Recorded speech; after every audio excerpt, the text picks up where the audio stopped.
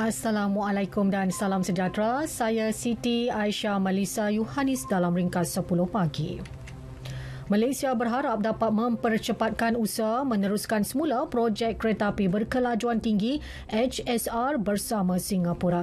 Perdana Menteri Datuk Seri Ismail Sarbi Yaakob berkata, ketika ini Menteri Pengangkutan Datuk Seri Dr. Wee Kasyong dan rakan sejawatan dari Singapura S. Iswaran giat meneruskan perbincangan. Menurut beliau, usaha meneruskan semula projek itu akan membabitkan beberapa perubahan pada syarat dan terma asal. Kata Perdana Menteri lagi, Malaysia juga juga merancang untuk mewujudkan HSR antara Kuala Lumpur dengan Bangkok. Beliau turut membayangkan jaringan tersebut boleh disambung hingga ke China. Dalam pada itu, Perdana Menteri menegaskan isu parti dan politik tidak mengganggu tumpuan beliau dalam urusan mentadbir negara. Ia dapat dibuktikan apabila pertumbuhan keluaran dalam negara kasa KDNK meningkat 8.9% pada suku kedua. Angka pengangguran turut menyusut daripada 4.3 kepada 3.8% diikuti nilai dagangan negara berjaya melepasi jumlah 2 trilion ringgit. Kerajaan bersetuju untuk meluluskan peruntukan 200 juta ringgit bagi menambah 167 lagi pusat ekonomi digital keluarga Malaysia PEDI di seluruh negara menjadikan jumlah keseluruhannya sebanyak 1080 setakat ini.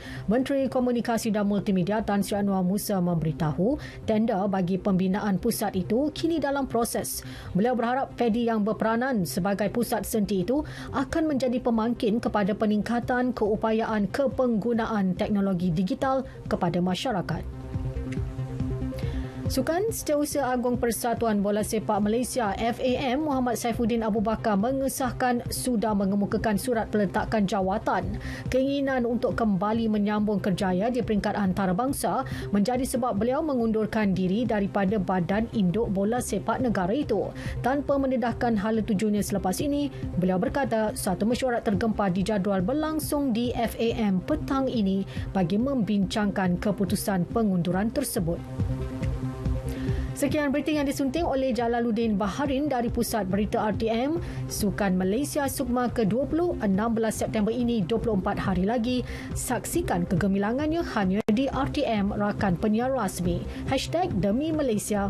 Assalamualaikum dan salam keluarga Malaysia.